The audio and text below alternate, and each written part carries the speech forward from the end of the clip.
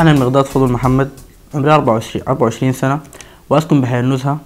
بعمل كمهندس ميكانيكي آه، ولدي تجربة بالعمل الطوعي من خلال مساعدة العاجز والمسنين لمدة أربع أعوام. ومن خلال عملي كمتطوع أدركت أهمية التبرع الطوعي بالدم لأطفال السرطان والمرضى والمحتاجين.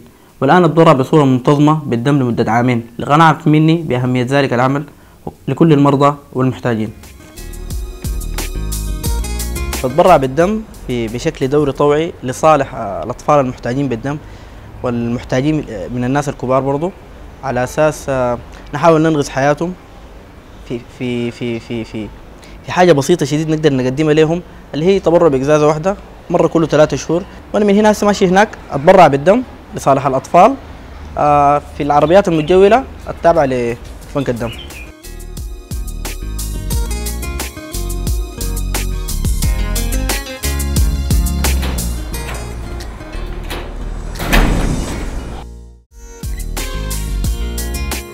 أنا طل صديق عبد الكريم مهندسة معمارية شغالة في شركة إنشاءات هندسية في ولاية الخرطوم. كمتبرعة طوعية بالدم نشأت علاقتي بهذا العمل النبيل من خلال العمل مع مجموعة نحن معا أجل أطفال السرطان. المهتمة بالأطفال اللي عندهم سرطان. حيث تعرفت على مدى حوجة الأطفال ديل للدم فقررت مساعدتهم بأنه أهديهم دمي كل أربع شهور. وهي دي الفترة اللي بتستطيع خلالها كل أنثى التبرع بدمها طوعيا والحمد لله لحد الآن قرابة عام آه، تبرع بدمي بصورة منتظمة في بنك الدم القومي قسم التبرع الطوعي بالدم. العمل ده خلاني أحتك بالأطفال بحيث إنه أنا حسيت إنه بحاجته حسيت بحاجتهم ال- المتكررة الدورية للدم. فده كان دافعي الأول إني أتبرع بدمي ليهم عشان أساعدهم وأخفف عنهم شوية.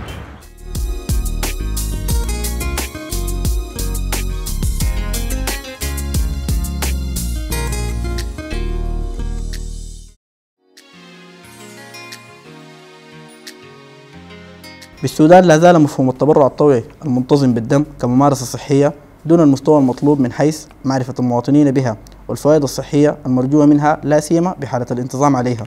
سنويا وفقا لإحصائيات بنك الدم القومي يبلغ عدد المتبرعين بالدم 160 ألف متبرع وهذا الرقم بعيد تماما عما هو مطلوب لسد الحوجة بالدم على مستوى السودان.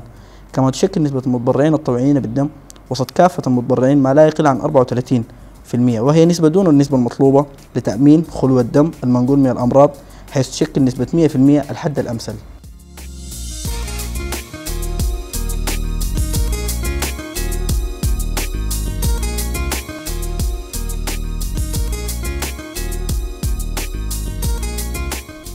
This year's theme of World Blood Donor Day is More Blood, More Life, and it is a call to people to become voluntary, non numerated blood donors. WHO is working with the Federal Ministry of Health to contribute towards the goal of increasing voluntary, non numerated blood donors from 34 to 100% in order to increase the safety and availability of blood and blood products. Paid blood donors are often from groups at higher risk of transfusion transmissible diseases such as HIV, hepatitis B, hepatitis C, and syphilis. It is therefore important that blood donors are voluntary and non remunerated and from low risk donor populations.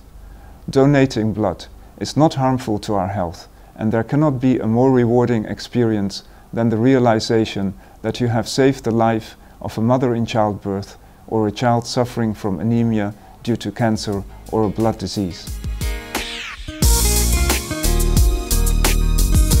المتبرعين الطوعيين بالدم بيتبرعوا بلا مقابل وما بيرجوا من عملهم عائد مادي بس همهم الأوحد إنه يساعدوا المرضى المحتاجين للدم وهم كتار جدا في السودان.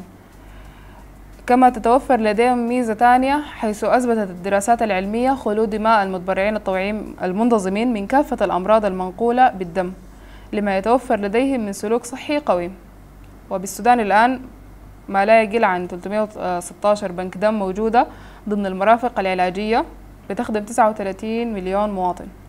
وإلى الآن يشكل المتبرعين الأسريين بالدم وهم الذين يتبرعون فقط من أجل إنقاذ أقربائهم العدد الأكبر من مجموع المتبرعين بالدم.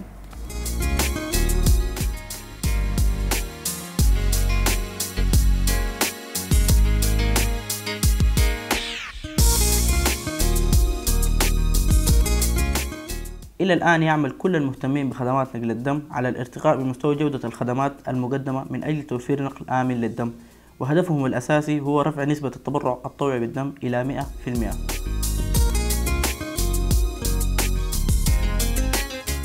لقد اتخذت مكاني لكي يلون السودان بدمي فقدمته هدية عن طيب خاطر لكل مريض محتاج. فهموا معي لكي نصبح كلنا متبرعين طوعيين منتظمين بالدم. فنلون وطننا الحبيب بأغلى ما عندنا. أدعوكم جميعا للمساهمة من خلال تبرعكم الطوعي المنتظم بالدم.